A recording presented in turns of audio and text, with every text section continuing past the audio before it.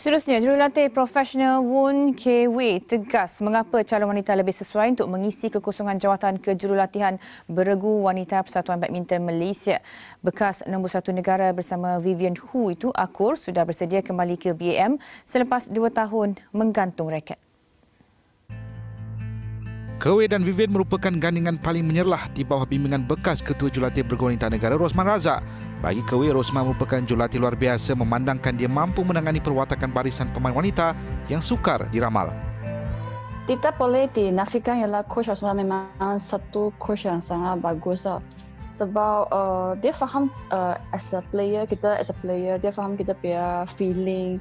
And then he try how to solve our problem. So dia favorite Xavier coach lah. oh, okay. Jadi coach dalam BM, is that something in your plan? Sekarang ni? Uh, initially yes. But then if uh, BM nak saya balik untuk uh, tolong yang junior-junior, of course saya akan setuju lah. Yeah. Kalau tolong senior?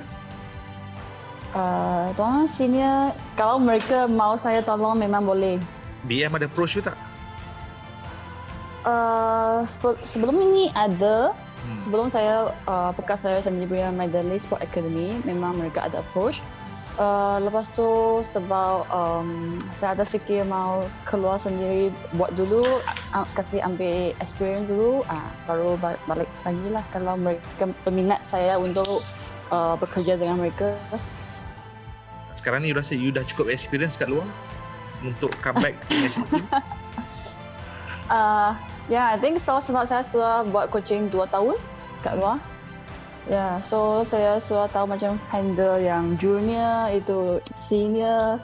Tapi kalau kalau lah kata you dapat jadi coach senior kan, you you ready ke nak bagi tahu Vivian apa nak buat? kalau dia dengar saya cakap.